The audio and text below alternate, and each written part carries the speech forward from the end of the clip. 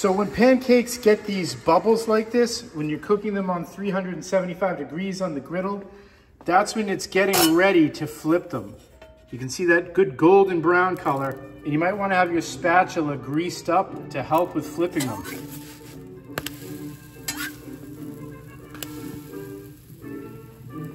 Short stack, order up.